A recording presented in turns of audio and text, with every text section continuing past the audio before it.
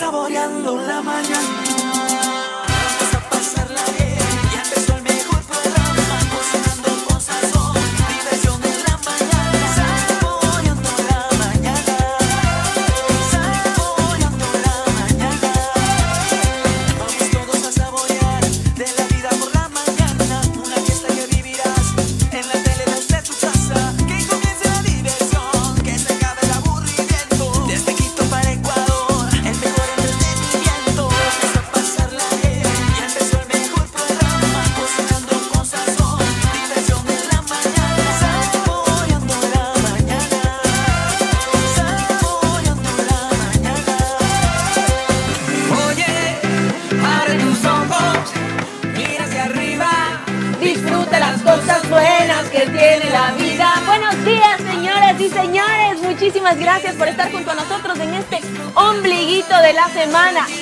En la capital. Cuéntenos cómo está en su provincia, en su ciudad. Hace frío, hace calor, cómo está el clima. Nosotros aquí el día de hoy sí estamos sufriendo de pacheco, señoras y señores, pero no importa, le vamos a inyectar esa súper buena energía para que todo fluya bien. Chicos, buenos días. Buenos días, gordito, buenos días, Cari. Las 9 de la mañana con 31 minutos, como siempre, felices de la vida, iniciando este día como se debe, con pie derecho. No se olviden que se acerca un feriado, así que acelerar tal vez todas las actividades que tenemos pendientes para que luego la siguiente semana pues no estemos en apuros. Así es como nosotros iniciamos. El gordito tiene novedades, que hubo una tormenta de truenos ayer. ¿Quién escuchó? ¿Alguien escuché. escuchó los, alguien escuchó los truenos de las 2, 3 de la mañana, de las 3 de la mañana? Yo no. ¿Usted escuchó, guachito? Los truenos, usted, tatito, no, Juanito. ¿Qué Eso comió, yo estaba gordito? pensando en chili con carne, creo que pateó. Oiga, pero no, el Pinky se oyó, ¿no es cierto, Pinkycito? Ah, bueno, ya hay alguien que le Ya hay un testigo entonces. Duermen como piedra. Sí. Además que fue a la, a la hora, generalmente dicen que esa hora es cuando uno está más pesado. Pero fue una cosa bárbara eso. Sí. las ventanas. Entonces no, no sé, no sabría explicar. dígame. Agradezco no haber sentido, yo sí pude descansar profundamente, delicioso, me encantan esas noches en las que uno ni siquiera se levanta a hacer chichi, porque hay veces que, que uno se levanta. ¿no? Y uno se corta el sueño y es como, ay, ya toca, pero no, amo esas noches en las que uno puede dormir plácidamente, delicioso. Sí, y como dice el gordito, ¿no? La hora más o menos desde las 2 y 30 de la mañana hasta las 3 y 30 es la hora que uno tiene el sueño más pesado, ¿no? Es la hora del la- es la hora del coco también, así es. Entonces, así que si es que duermes a esa hora, pues está al otro lado. Yo dormí un poco tarde, así que estaba más que profunda esa hora. Así que no sé si hubo o no hubo la tormenta de truenos, como dice el, eh, el gordito, en lo personal, ¿le dio miedo? No, pues hoy no se levanta si se prendió hasta la alarma del carro de mi suegro. Uy, no, Claro. o sea, fuerte la Creo que Por el cosa. valle, entonces, gordito estuvo peor, porque... Es que yo vivo, recuerden que yo vivo al norte de, de Machachi, ¿no? ¿Dónde anda Don Quintana? ¿Dónde está Keru? Ya, ya mismo entra. Ah, vamos a ver qué es lo Que eso no, o sea, acepto ya que el jefe se atrase, pero Martín. A ver, creo, aquí están diciendo en el apuntador que es tu culpa, mi Cari. Es A tu ver, culpa que es Keru llegue culpa tarde. y no es mi culpa, no sé, no sé, porque en Uh, realidad... música de Ah, polémica, sácame el Chayán ese. ¿Qué Sácame el Chayán ese. Sácame el Chayán. Buenos días, compañero de panel. Buenos días, llegué Martín. un poco Familia tarde a todo ecuatoriana, el buen día. Público. ¿Cómo está? No fue por mi culpa solamente, Martín. Ver, sí fue un poquito, porque lo que pasa es que el día de hoy Martín me iba a hacer el favor de eh, traer acá al canal, porque mi esposo necesitaba el carro. A última hora mi esposo me dijo, amor, ya no, mi, mi reunión se pasó para la siguiente semana, entonces yo vine en el carro y solo se me olvidó nada más tantito decirle a Martín. y él fue hasta mi casa. Pero a ver, Martín, seamos Ah, pero sinceros. son dos Pero, seamos- pero a ver, Ahí seamos está. sinceros. Ah, Ahí, ahí está el empate, ahí vamos al empate. Ya estaba ganando el partido y ahora vamos al empate. a Es ver, que, a ver, sinceros. lo que pasa es que Martín siempre va a recogerme de mi casa cuando me hace el favor ocho y media. Y esta vez el mensaje consta, si quieren yo se los A puedo ver, mostrar. Por Ahí favor, díganos Permiso. bondad, pues aquí es O con sea, lo, pruebas. lo peor de todo, no, si, estaba 15 minutos abajo esperando y qué raro que no me ve el mensaje. No No quiero. Ah, me ve eso también, la. Cari nunca responde los mensajes. Claro, pero después No, pero ahí sí estoy pendiente. A ver, miren, aquí dice, llegué 8 y 42. Entonces, Pero- el señor llegó tarde. No me eches solo la culpa a mí. A ver, ve aquí. Vea, aquí está. O sea, Miren, perdón. Martín Quintana, y aquí está. 8 y 42. A esta hora llegó. Sí, No, a ver, pero me, me, me cambió la ruta y Sí, como sí, estaba lloviendo, sí. como estaba lloviendo, me atrasé un poco Eso porque sí es se, se armó un poco de tráfico porque ya saben cómo es la capital Y yo cuando le dije llueve. justo a Marinita, le desvié y sí se desvía, o sea, es súper cerquita, pero en, real- en realidad sí se tiene que Pero ven, desviar, señor direct- fue directo al empate la Cari. Ya es. Una discusión entre. Quintana, Una discusión entre. Cho. Se olvidaron del distanciamiento social, se fue todo para. Pero bueno, en todo caso, lo que hay que decir es que en una discusión de un caballero con una dama, el mejor resultado que podemos sacar es un la empate al minuto Oiga, 90. me acordé de las épocas cuando tenía novia, con lo, con lo de la Cari, porque uno, le- la novia le hacía o la esposa le hace lo mismo, y de repente uno llega enojado, ¿por qué me haces esto? Y de repente las mujeres, ¡ay, pero no te enojes! ¿Y por qué te enojas? Te- Empate. Pero No, eso. Por eso, chicos, siempre tienen No, que darnos la razón y punto. Y todo fluye de una mejor manera. Todo es paz y amor. Sí, fue mi culpa. Bueno, oigan, les cuento. ¿Quién de ustedes se ha rascado así, ven? Yo, yo, yo, yo, Vicky, yo. Eh, mi No, marido. no, sí, ¿de ¿cómo qué te van a- ¿Qué La pasó? puerta ¿Qué de es buenísima para rascarse. Eso Bestia, no. hacen los hombres, ¿por qué? Mi esposo también llega y empieza así contra la pared, digo, no puede ser, o sea, nosotros no creo No, que no, hacemos no, eso. no, no, no, no, no. Yo digo, ¿me puedes rascar aquí que me pica, por favor? Obvio. Oh, si pero, no, está así. pero no contra la pared, ni contra las puertas, ni nada. Es rico, es rico, es rico. Sí. Es que- pero no siempre es eh, normal, digamos, el tema de la comezón o el escosor en la espalda. Hay personas que, gracias chiquitita, hay personas que pueden tener mayor picación o comezón de lo que sería considerado normal. Así que aquí están algunas de las causas, véalo por favor mientras yo me echo una rascadita en la puerta.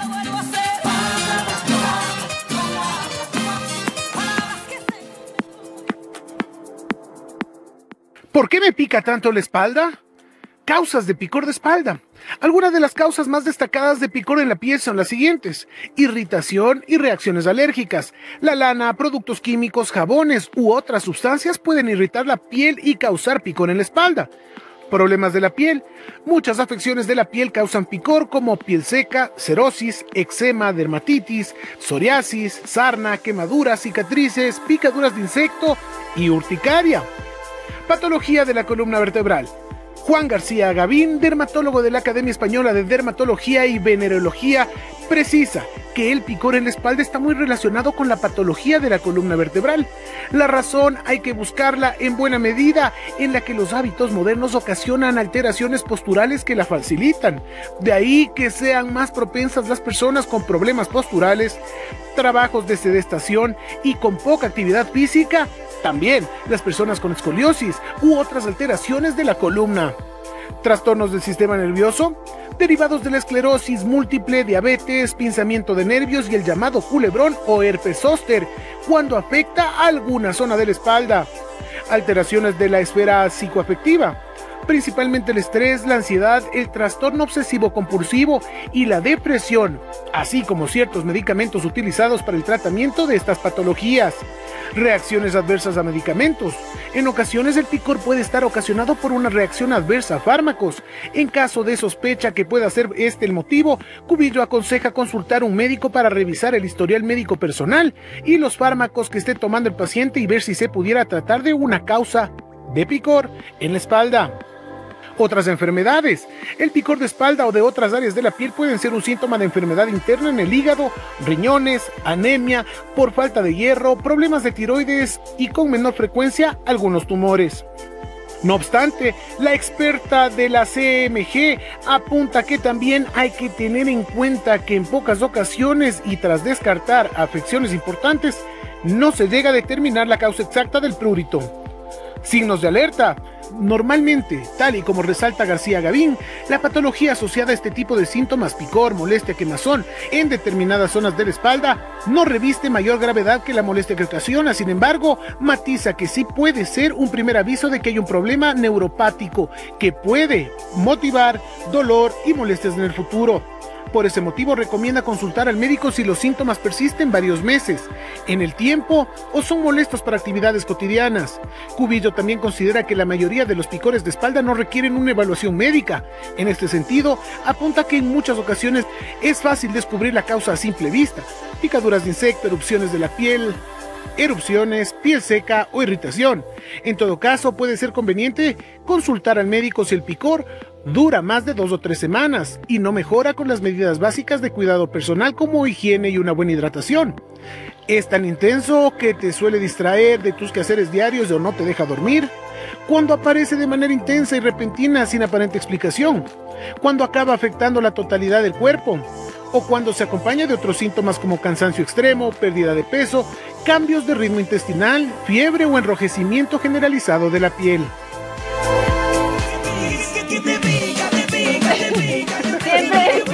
¿Qué, qué tal la canción, no? Siempre es importante consultar al médico, como lo decía eh, nuestro gordito. Tal vez si ya tomamos todas estas precauciones de, eh, ya obviamente, bañarnos, ponernos cremita, hidratar nuestro cuerpo y continúa esta picazón, siempre es importante acudir donde un especialista, no nos automediquemos, no cojamos la cremita que tenemos guardada ahí a ver si esto nos puede aliviar. El especialista nos va a hacer ciertos estudios, ciertas preguntas, como se mencionaba en la nota, puede ser por medicina que esté consumiendo, entonces medicina con medicina seguramente no le va a ir nada bien. Siempre, siempre, siempre es importante acudir donde un especialista. Y también tiene que ver mucho con la limpieza. Quizás podríamos ser también alérgicos a algún jabón, algún shampoo. Al sudor. Incluso también algún tipo de tela y no darnos cuenta. Eso también puede generar picazón. También siempre hay que investigar. Y las alergias, recuerde que pueden aparecer en cualquier etapa de la vida. Y más aún en esta época, época, Keru, porque no nos olvidemos que es una época de muchísimo estrés que la gente ha pasado por esto de la cuarentena. No nos olvidemos que el estrés también pues hace que salgan este, este tipo de alergias, este tipo de, es una alergia de estrés.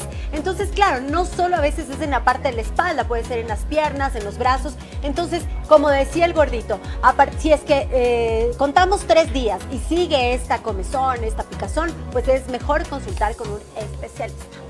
Cierto, nos vamos con el gordito en este momento que está en cocina. Gordito.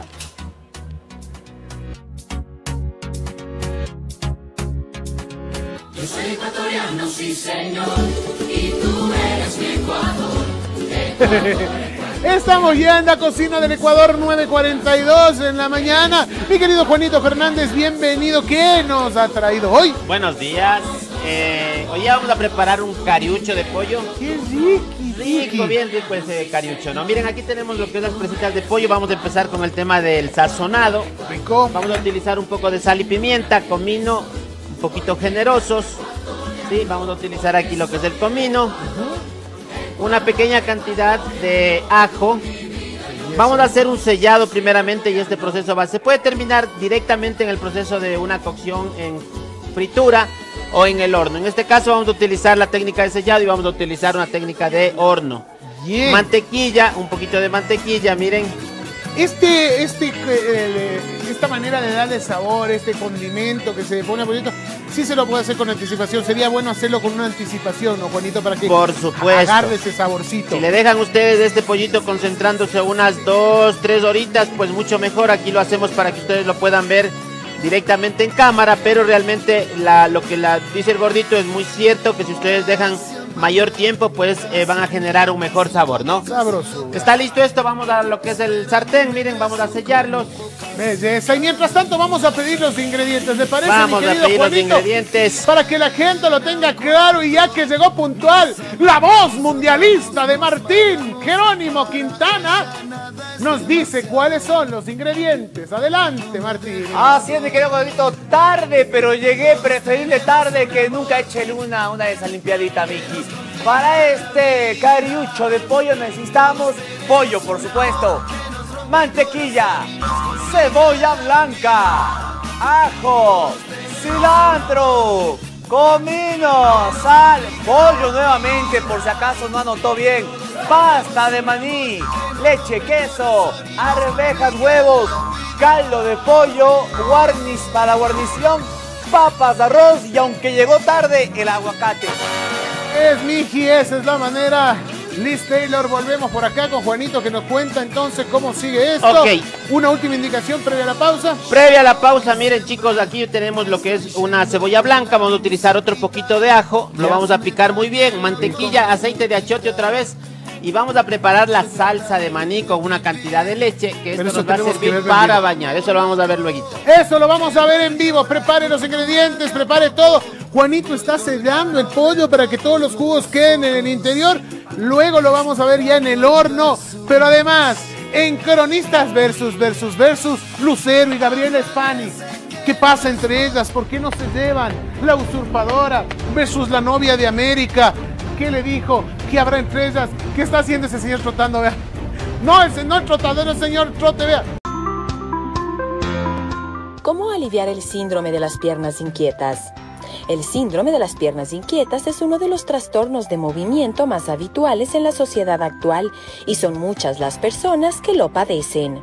El hecho de sufrir cierto hormigueo, picor o cierta presión durante muchos momentos del día de una manera continua hace que sea bastante molesto e incómodo para la persona, sobre todo a la hora de descansar y dormir de una manera adecuada. Este trastorno se da casi siempre en la edad adulta, aunque también puede darse en los niños y en los jóvenes. A continuación te contamos cómo aliviar dicho trastorno y tratar los síntomas tan incómodos y molestos en las piernas. Si se trata de un trastorno leve o de poca gravedad, hay una serie de medidas o consejos a seguir que puede hacer que la persona afectada se sienta mucho mejor. En primer lugar, la persona que padece tal trastorno de movimiento debe poner en práctica una buena higiene en el sueño.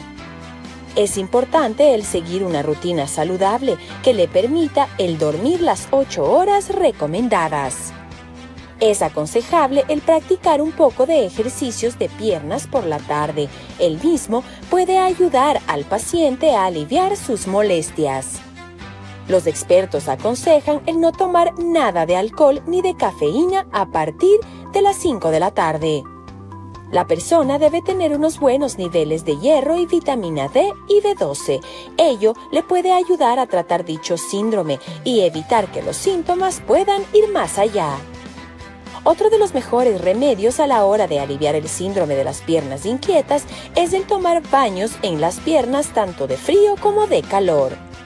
El síndrome de las piernas inquietas es un trastorno más grave de lo que podemos llegar a pensar.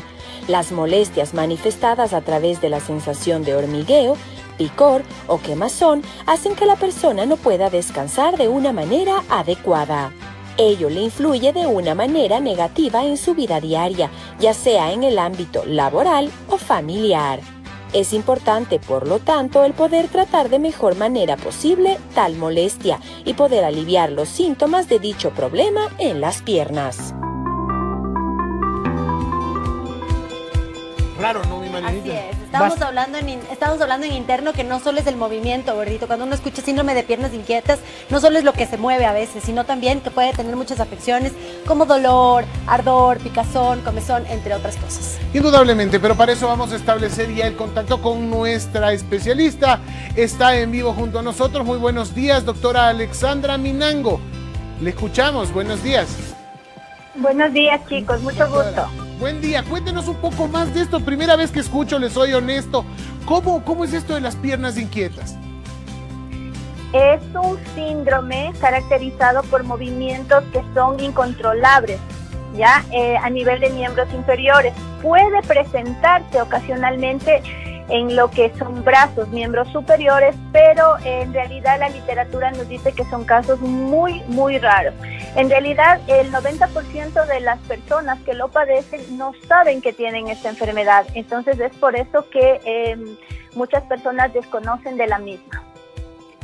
Doctora, ¿hay alguna, hay algún remedio, hay alguna cura o hay algo que nosotros podamos hacer para evitar que tengamos el síndrome de las piernas inquietas? Sí hay formas de, de controlar la situación, de prevenir de cierto modo. En el, se- este trastorno se desencadena también por un factor de estrés. Ya, entonces las recomendaciones de mantener un estilo de vida saludable que incluya el hacer ejercicio y algo muy importante en este en estos tiempos de, de la pandemia que estamos viviendo es el tema de la higiene del sueño, sí. Esto es sumamente importante ya que el- la deuda de sueño que se llama en términos médicos, ¿verdad? Va a predisponer a las personas a desarrollar diabetes, a desarrollar hipertensión, enfermedades crónicas no transmisibles. Entonces, una forma de prevenirlo definitivamente está mantener hábitos saludables, no nocivos como el tabaco, el alcohol, el abuso de la cafeína que también es muy común. Eh, ¿Alguna recomendación puntual en el tema de dormir? Algo que pueda afectar lo que usted decía, esta deuda del sueño, quizá el, eh, eh, el no tener el ambiente apropiado para dormir puede contribuir entonces para esto también, quizá el que no, te, no sea oscuro, que tenga bulla, un, un colchón incómodo, demasiadas cobijas, qué sé yo. ¿Qué debería tener este paciente para mejorar su calidad de sueño? Que como usted nos dice podría ayudar a controlar un poco los síntomas. Eh, por supuesto, se habla de que el cerebro descansa mucho mejor en ambientes que no son muy calurosos, es decir, mantener un, ambiente, un clima templado dentro de la habitación por un lado. Segundo, el uso de dispositivos electrónicos. La luz LED sí estimula eh, las células ciliares y eso le hace creer a nuestro cerebro que es de día cuando ya es de noche, ¿verdad? Entonces eso provoca eh, una incapacidad en conciliar el sueño. Entonces definitivamente el uso de este tipo de dispositivos hasta esas... eh, hasta altas horas de la noche nos juegan totalmente en contra. El tema de, claro, mantener eh, un colchón adecuado, tanto para que el descanso sea reparador, porque de nada sirve dormir cuatro o cinco horas si es que usted no se siente descansado totalmente y despierta con dolor de cabeza, por ejemplo. Entonces, el tema de la temperatura, como ya mencioné, con unos cobertores, cobijas, que sea algo adecuado, que usted soporte, ni mucho ni poco. En estas épocas que estamos con bastante lluvia y bastante frío, entonces tratar de controlar un poquito eso, usar una ropa de cama adecuada y también es el tema de la alimentación, no comer a altas horas de la noche, porque eso también va a provocar una alteración en el tema del descanso. Doctora, ¿desde qué edad puede aparecer este síndrome de las piernas inquietas? O tal vez, eh, por ejemplo, una mujer embarazada o puede ser por algo hereditario? Sí, se habla de factores hereditarios, sobre todo cuando se presenta este síndrome antes de los 40 años. La edad más común de presentación se ha visto que es entre los, los 50 y 60 años, siendo las mujeres las más afectadas. En realidad hay también un gran número de causa, eh, de un porcentaje alto que es una causa desconocida. Embarazadas también se pueden presentar, sobre todo se, se dice que al último trimestre del embarazo, también eh, hablando de lo que es la compresión que ocurre por el, el tamaño de la barriguita a nivel de, de miembros inferiores. Doctora Alexandra Minango, agradecemos muchísimo toda, la, toda su intervención y todo lo que nos ha, no- nos ha contado hoy día, cosas que uno de pronto ni siquiera imaginaba que existían o que podían tener algún tipo de vinculación con todas estas situaciones que nos presentó. Gracias, doctora, por estar junto a nosotros en Saboreando la Mañana. Con mucho gusto, Que muchas gracias bien. a ustedes. Gracias, doctora. Seguimos con mucho más y nos vamos, Marinita, con Martín, que tiene que darnos un gran consejo. La influenza, también conocida como influencia estacional o simplemente como the flu, es una enfermedad de las vías aéreas superiores ocasionadas por un virus que se transmite a través de partículas de saliva. ¿Quiénes son más vulnerables a la influenza? Grupos vulnerables como adultos mayores, niños o personas con otras enfermedades como diabetes o enfermedades cardíacas, también complicaciones que requieren hospitalización e incluso pueden causar la muerte. El lavado de manos y la vacuna anual son herramientas indispensables para prevenir la influenza y sus complicaciones. La influenza es ocasionada por una familia de virus que proliferan en las temporadas de otoño e invierno. Hay diferentes variables de los virus que ocasionan la influencia. Los subtipos A y B de esta familia son los que ocasionan las infecciones humanas. Ciertas moléculas hacen más variaciones entre cada uno de los virus, generando cepas como la influenza AH1N1, responsable de la pandemia del año 2009. Cuando un individuo se contagia del virus de la influenza, las células del tracto respiratorio son el sitio donde se multiplica el virus, para después ser esparcido principalmente en forma de pequeñas gotas de saliva y moco. La evolución de la enfermedad es abrupta y caracterizada por la aparición de una fiebre alta, dolor del cuerpo, escalofrío, dolor de cabeza y tos. Algunas personas pueden tener complicaciones de la enfermedad como una neumonía, especialmente personas con defensas bajas, como los adultos mayores de 65 años, adultos con enfermedades como asma, diabetes, cardiopatías, mujeres embarazadas o niños. Para prevenir infecciones durante cada temporada se recomienda aplicar la vacuna, especialmente en adultos mayores, niños mayores a 6 meses, personal de salud y para la población general mayor a 6 meses. Otra medida importante para prevenir el contagio de influenza es el lavado de manos. Se estima que el virus puede vivir en las partículas de saliva o moco 48 horas, siendo capaz de infectar a otras personas. Y para tratar este tema, nosotros ya nos encontramos con nuestro especialista, el, doc- el doctor José Manuel Ala, Ala, Yon, Alayón. Le dije tanto en mi cabeza Alayón, Alayón, Alayón y el rato de los ratos ahí he estado. ¿Cómo está? Bienvenido a Saboreando la Mañana. Siempre es un gusto tenerlo aquí. El día de hoy vamos a hablar de la influenza que precisamente estábamos escuchando en la nota y antes de entrar yo le preguntaba, ¿cuál es la diferencia, Doc? Porque a mí ya se me hizo un shampoo en la cabeza. ¿Qué es la gripe? ¿Es lo mismo que la influenza? ¿Cuáles son las diferencias? Cuéntenos un poquito sobre esto para quitarnos esa duda que tenemos. Hola, buenos días, gracias por la invitación chicos. Bueno, primero que nada entender un poco, cuando nosotros hablamos de la influenza es también llamado como la gripe, es una enfermedad respiratoria causada por el virus de la influenza. Esto, esta enfermedad puede ser leve o puede ser crónica y en algunos casos muy complicados, Karina, puede llegar a desencadenar la muerte, ¿sí? Es importante entender también que tenemos distintos tipos de influenza. En esta fase, digamos, estacionaria o de frío acá en el Ecuador, llamamos la influenza estacional. También tenemos la aviar, la porcina y la también influenza en animales. Entonces es importante también reconocer los tipos. Es importante la, la pregunta que estabas haciendo justo antes de comenzar, cómo nosotros podemos identificar esos signos y síntomas del- de la gripe común de la influenza, ¿sí? Entonces, una de las cosas primordiales es como la aparición de los síntomas. Cuando nosotros vemos la gripe o el resfriado común, esta va a ser de forma progresiva, ¿sí? En- a diferencia de la influenza, que es de forma repentina, o sea, aparece y se instaura inicialmente todos los síntomas. Por ejemplo, eh, la sintomatología es casi imposible diferenciar un resfriado común, una influenza del virus también del coronavirus actualmente. Sin embargo, lo que tenemos que tener en cuenta son las sintomatologías, como por ejemplo en la influenza persiste el dolor de cabeza.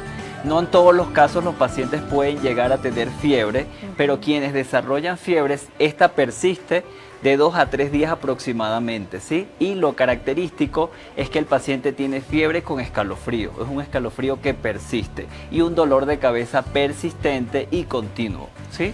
Doc, eh, sobre todo las personas que estamos acá viviendo en la capital, en Quito, que estamos teniendo esos cambios de clima entrando al invierno donde hace sol, eh, llueve, tormentas, temblores, tenemos de todo acá. ¿Cuáles son las cosas o, o, digamos las precauciones que tenemos que tener, sobre todo con esos cambios de clima bruscos que pueden ocasionar que se irrite nuestra garganta, que puede ca- ocasionarnos moqueo y ciertas cosas? ¿Qué medidas deberíamos tomar? Sí, Martín, es importante ese punto porque tenemos que considerar la población vulnerable, ¿no? También en las personas que deben de tener mayor protección. Cuando hablamos de eso estamos refiriéndonos a esa población adulta, personas mayores de 65 años, niños con edades comprendidas eh, hasta los 5 años, pero que pueden tener un cuadro bastante complicado, los que son menores de 2 años, ¿ok? Que aparte de tener todos los síntomas, todo este cuadro respiratorio pueden tener eh, vómitos y diarrea, ¿sí? Una de las, recomendaciones más eficaces es que sin, eh, sin duda alguna puedan administrarse la vacuna de forma anual, como está eh, comprendido en los calendarios de vacunación, abrigarse, por supuesto, si estamos expuestos a cambios de temperatura, caliente, frío, y por supuesto si vamos a ir a zonas como los páramos, eh, donde haya muy bajas temperaturas, por supuesto tomar las condiciones necesarias, ¿no? Eso debimos haber puesto atención el día sábado, que no tomamos las precauciones necesarias. Pero Doc, esto es lo que frecuentemente nos dicen y entonces no es un mito. No hay que eh, recibir mucho frío, hay que cubrir siempre la, la- la garganta, se podría decir esta Sí. zona, para que no ingrese el aire frío. ¿Y qué pasa también con los productos fríos que consumimos? En realidad no se debería hacer. Sí, eh, Karina, eh, estas cosas lo que nosotros tratamos es como que de dar ciertas recomendaciones muy puntuales, pero al momento de tú estar en contacto con una persona, exponerte a estas, esta, este ambiente, estas situaciones de muy bajas temperaturas, lo primero, como dices tú, es abrigarte, eh, generar una sensación de, mayor confort y que no puedas de alguna forma hacer que eh, prolifere más rápido la incubación del virus y por supuesto expresar la sintomatología, ¿no? Bueno, normalmente en estas épocas estábamos acostumbrados a que muchas personas tengan resfriados o tengan estos síntomas, pero ¿qué ocurriría eh, en estas ocasiones donde todos estamos usando las mascarillas? Quizás esta, esta influenza que estábamos acostumbrados siempre en esta época va a disminuir, como dicen las, ¿qué dicen las estadísticas? Sí, o el, el tema está, Martín, que justo estamos en una época donde eh, en el 2020 ya ha llegado el, el coronavirus y Karina también me estaba comentando al principio. Eh, es una de las cosas de los avances y los estudios que tenemos ahora que sí, una persona puede tener COVID, puede tener influenza, sí. Al mismo Sim- tiempo. Simultáneamente. Entonces, ¿qué? Al momento de cómo nosotros hacemos la detección y el diagnóstico, para esto existen unas pruebas que son unas pruebas específicas para el virus de la influenza y actualmente ya contamos con pruebas para que son de biología molecular o pruebas de anticuerpos virales que son específicas para el COVID. Entonces, lo que, lo que se recomienda es realizar las pruebas puntualmente justo al inicio de la sintomatología y de acuerdo a resultados de cada grupo viral se puede dar un diagnóstico y tratamiento. Muchísimas gracias, Doc, por estar junto a nosotros el día de hoy, explicarnos y que nos quede bastante claro en realidad ese tema. Es por eso que siempre los especialistas nos recomiendan pues tener ciertos cuidados en esta época del año aquí en, en nuestro país, en nuestra ciudad, que por supuesto el frío empieza a sentirse bastante, bastante fuerte. Gracias nuevamente por estar junto a nosotros hoy y continuamos en ese espacio que tanto amamos, la cocina del Ecuador. Tiene de todo. Está mi tierra linda, el Ecuador. Tiene de todo. Eso, volvemos a la cocina del Ecuador y hoy el buen Cariucho con el buen Juanito. ¿Cómo le va Juanito? ¿Cómo va ese, ese chicken? Va bien el chicken, miren, está doradito, lo podemos ver. Ya tenemos listo. Temperatura no muy alta. Recuerden que vamos a utilizar esta misma preparación para realizar la salsa. Belleza. Miren, tenemos ya lo que es el pollo. Está dorado, pero le falta de cocer internamente. Por eso es que vamos a someter al horno. Los ajos están tostaditos. Vamos a utilizar lo que es aquí la cebolla. Correcto. La parte verdosa de esta cebolla es crucial, le da un sabor espectacular. Así que muchas personas desechan esto cuando este producto tiene una, un valor eh, muy eh, delicioso el momento de preparar en la cocina. Miren, aquí tenemos, vamos a preparar lo que es eh, la salsa y vamos a añadir luego lo que es la leche. Primeramente vamos a conseguir que la cebolla se caramelice un poco. Correcto. Acá tenemos cocinando papas, que es parte de la guarnición. Rico. Hemos cocinado también, miren, huevitos para después rallarlos porque esto va con huevos rallados, cilantro fresco, la salsa de maní, eh, acompañado con aguacate, una cantidad de leche y maní también que vamos a poner en esta preparación. Miren, acá tenemos, acá Correcto. está. Ahí Listo. va. Listo, listo, miren. Se va trabajando, muy crucial esta cebolla de verdeo, ¿no? Con esta parte verdosa de la cebolla para que te genere un sabor bastante atractivo. Perfecto. Vamos a colocar acá lo que es el maní. Muy bien. Ya, recordarles que esta semana en Casa Ecuador estamos en un curso de cocina ecuatoriana, lo voy a dictar yo. Unos productos espectaculares que puedan aprender toda una semana de cocina ecuatoriana. Vamos a dejar entonces esa salsa que vaya ahí suavito y perfecto. Y además también la pasta de maní, que es la que se va incorporando. El pollito ya fue al horno. Vamos a marcar una segunda pausa en la cocina y al volver una receta muy sencilla como ustedes lo acaban de ver. Está todas las instrucciones dadas, ¿verdad Juanito? Regresamos en instantes con este delicioso cariucho. No se vaya, estoy saboreando la mañana.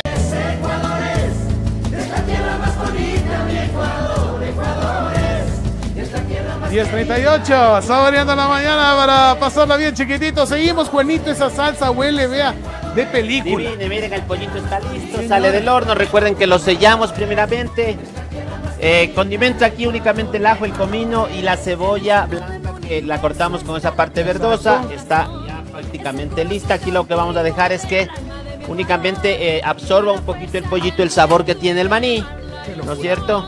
Miren, vamos a Es dejarle acá. Es una de las recetas más ricas que hay este Rico, muy rico. Es una receta muy rica, sabrosa, les gusta a los niños, a los grandes, a todo el mundo. Y aquí miren, por ejemplo, vamos a utilizar lo que es el huevito rallado que ya está duro. Lo vamos a utilizar un poco y después vamos a utilizar otro poco para la presentación. Qué maravilla. Miren, vamos a dejarle ahí para luego eh, ver cómo queda ahí el montaje del plato. Y miren, acá tenemos cilantrito fresco. Vamos a acompañar y a guarnecer con unas lechuguitas, un aguacate, unas papitas tradicionalmente como se lo hacía antes.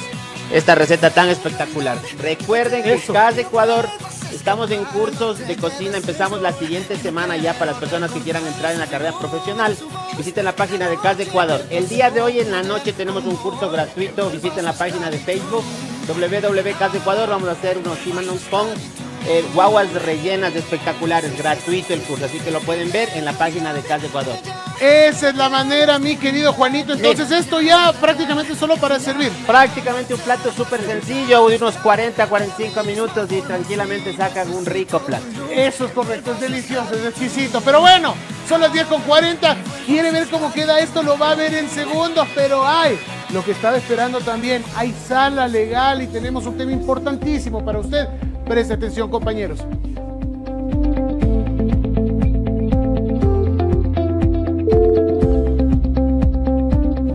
Así es, mi querido gordito, momento de sala legal. Le damos la bienvenida al abogado Valladares que está junto a nosotros porque vamos a hablar acerca de un tema que a los papitos les va a interesar mucho, acerca de las niñeras. ¿Qué ocurre cuando una niñera maltrata a mi hijo psicológicamente y no tengo pruebas? Pero yo me estoy dando cuenta que mi hijo ya tiene problemas psicológicos, lo veo más calladito, lo veo cohibido, tiene ciertos miedos a ciertas cosas y me doy cuenta que es la niñera que lo está maltratando. Bienvenidas a Oreando en la Mañana y cómo podemos proceder legalmente para entablar una demanda. Buenas. Bueno, eh, familia ecuatoriana, muy buenos días. Estimado Martín, Marina, el placer siempre de llegar a sus hogares con estos temas de vital importancia. Mi estimado Martín, lo que debemos de informar es una situación, ¿sí?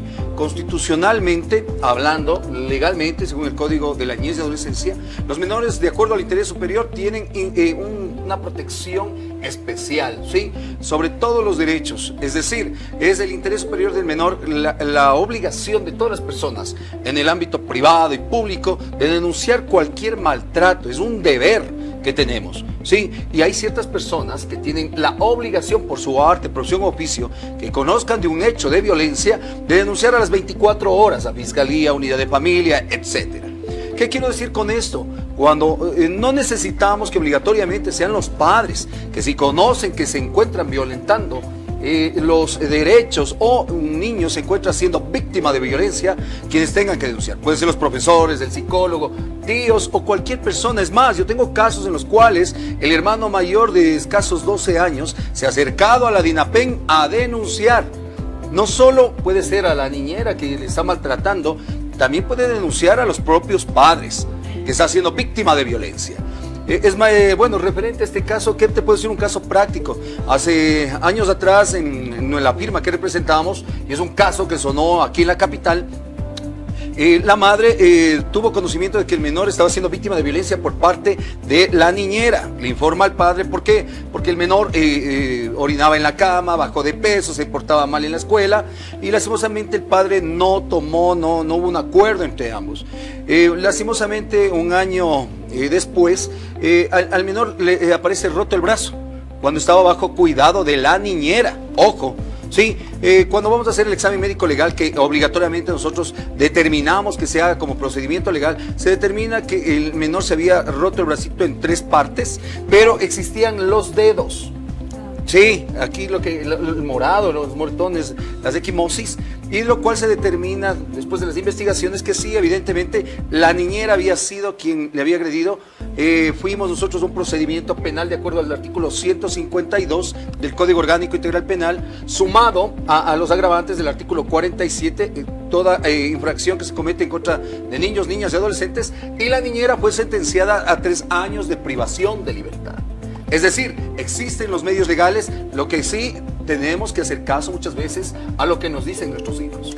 Eh, abogado, eh, pues eh, lamentablemente esto suele ocurrir por lo general con los bebés, ¿no es cierto? No nos olvidemos que la mujer tiene eh, solo tres meses y luego tiene que volver a trabajar, luego tiene el periodo de lactancia, pero cuando tiene que reintegrarse a sus actividades laborales necesita dejar con alguien. En el caso de los bebés que no pueden hablar, que no pueden decirnos qué es lo que sucede, pues nosotros tenemos que estar muy pendientes. Pero ¿qué es lo que ocurre cuando no tenemos pruebas y solo sospechamos que hay una agresión a nuestros hijos o una agresión psicológica? ¿Cómo nosotros podemos ir a un juzgado y, y- y- y cómo, podemos validar esto? Bueno, la situación importante es, de ej- ejemplo, en el caso de los bebés va a ser bastante complicado porque ellos no pueden expresarse.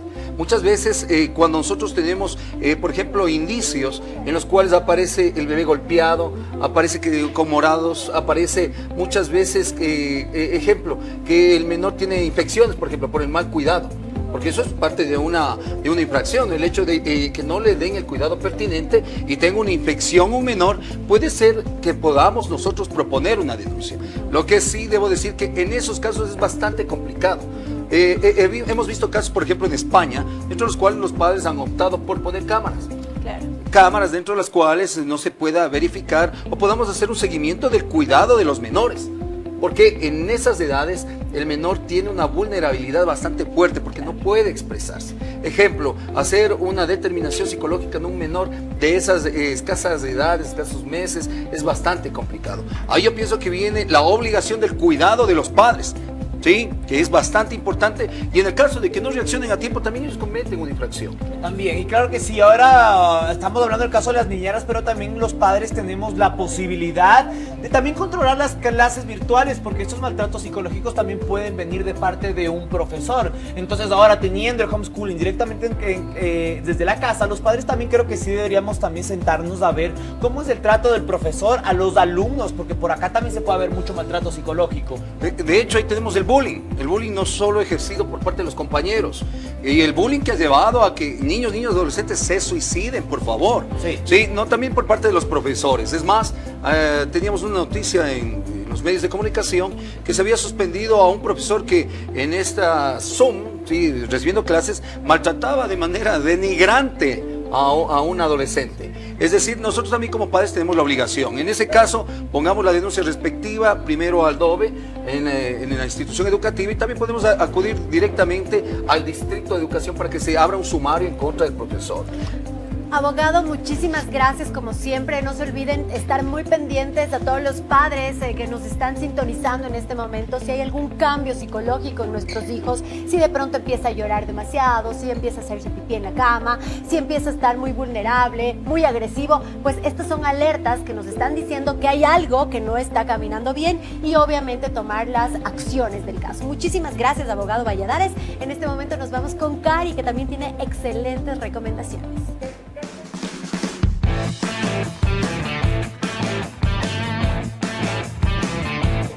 Muchísimas gracias chicos, nos encontramos ya con el doctor Emilio Yalque y con él vamos a tratar un tema que yo creo que es de terror, así es, porque las caries en esta época creo que es de las cosas que más nos ponen a sufrir a los papás, por supuesto los niños eh, recopilan, recogen muchísimos dulces y nuestro susto y nuestro temor son las caries. Doc, ¿cómo está?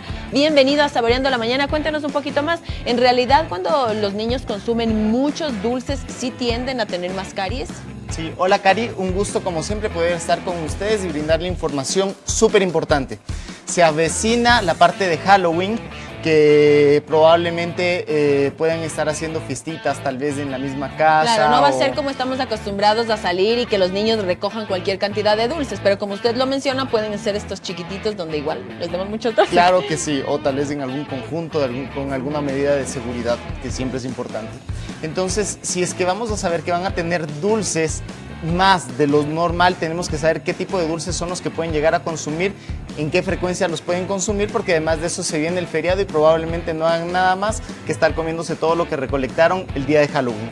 Así que eh, digamos que en términos claros, es importante saber que todo azúcar que ingrese a nuestra boca después se va a convertir en ácido, que es el que va a comenzar a desmineralizar al esmalte y alimentar a las bacterias que se encargan de producir esta parte de la caries.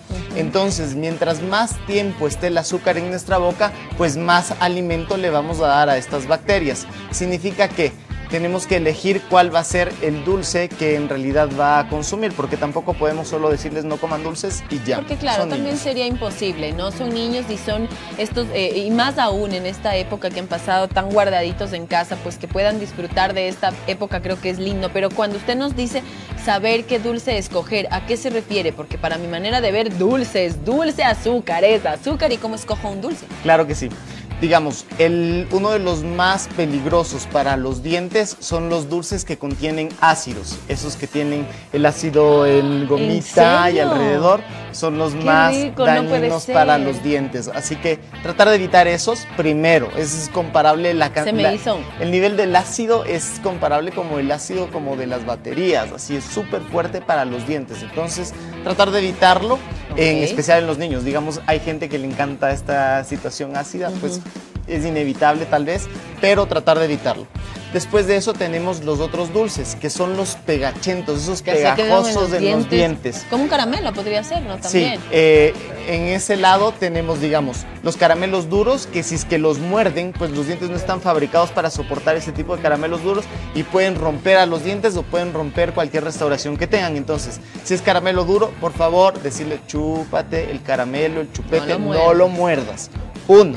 La otra, los pegajosos, digamos las gomitas y todo este tipo de cosas, si es que se quedan en los surcos y fisuras de nuestros dientes, pues van, a pesar de que ya no estemos comiéndolos, van a estar pegados en el diente. Y eso va a provocar que esté mucho tiempo el azúcar y les estamos alimentando a las bacterias hasta que tal vez se cepille los dientes. Entonces evitemos ese tipo de dulces que son pegajosos.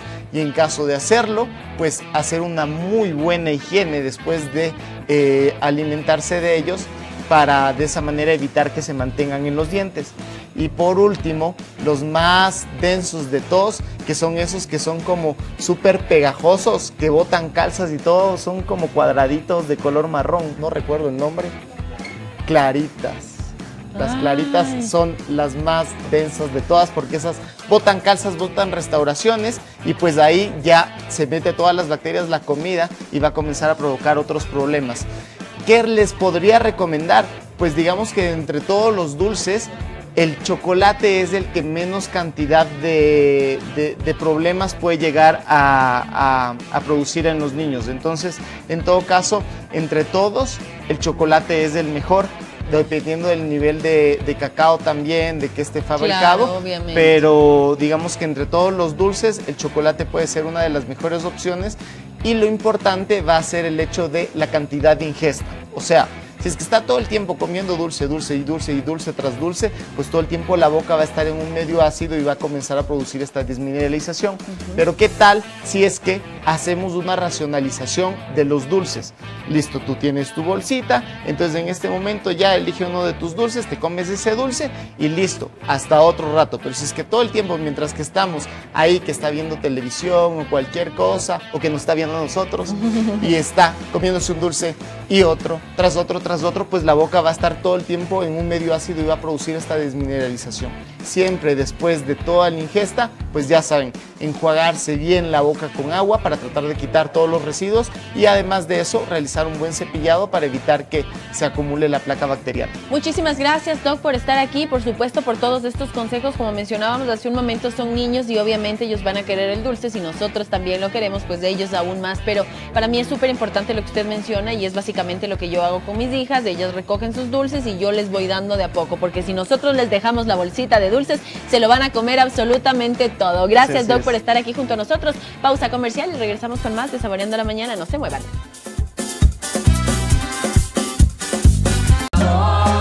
Ay, mi Ecuador, ay, mi Ecuador. ¡Ay, qué Ecuador! ¡Ay! Estamos de regreso, mis queridos compañeros. Juanito ya dándole ese delicioso juguito, esa salsita El espectacular. Y los toques finales. Y nos da una breve, un breve repaso, Juanito, por Recuerden, favor. hicimos un refrito, bastante cebolla blanca con la parte verdosa, que es muy bueno. Vamos a utilizar un poquito de comino, ajo, el- la mantequilla. Recuerden que nosotros hicimos primero el sellado del pollo. El pollo se selló y después de eso conseguimos este sabor espectacular, ¿no es cierto? Miren, aquí tenemos un poquito de ají. Hay que hacer el refrito, luego el maní, un poquito de leche Y si alguien quiere agregarle un poquito de fondo de pollo, pues puede agregarle un poquito de fondo de pollo también. O el líquido de la cocción de las papas también puede utilizar. Miren, ahí estamos listos, súper rico. Recuerden, en esta semana tenemos que viene un curso de cocina ecuatoriana. Vamos a hacer encebollados, quimbolitos, vamos a hacer ayacas, vamos a hacer eh, un sinnúmero de cosas. Hay cerca de unos 12 productos que ustedes pueden aprovechar, así que no se olviden visitar la página de Casa Ecuador. Y el día de hoy, guaguas de pan especiales. Métanse en el Facebook de Casa Ecuador y prácticamente van a tener un curso gratuito. Esa es la manera. Recuerden que el feriado también vamos a estar trabajando. Juanito también nos va a acompañar el feriado, así que no se lo pierdan. Manténganse Bueno. siempre con nosotros. Yo no Con ustedes, con pero permisa, que a ya mí está se me hace resuelto agua la boca. Pero, a mí se me hace agua la boca. Pero oiga, es para todo. Ya tengo resuelto mi almuerzo. Ya. un abrazo, Hasta presta. Martín, que todos queremos Martín. probar. No, yo ya. Gracias. Presta Martín. Aguacate. Saboreando la mañana.